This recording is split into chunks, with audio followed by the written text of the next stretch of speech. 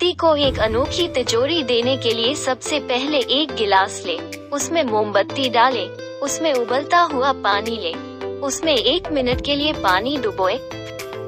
फिर मोमबत्ती को गोल डंडी से हल्का सा दबाएँ। फिर धीरे से इसे दोनों हाथों से मोड़े, फिर हमारी मोमबत्ती और विनिक तिजोरी तैयार हो जाएगी